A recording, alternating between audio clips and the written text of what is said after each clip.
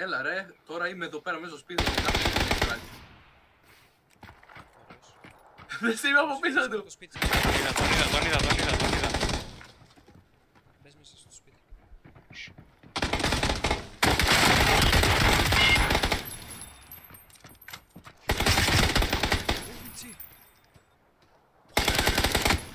Ω, Μιτσί.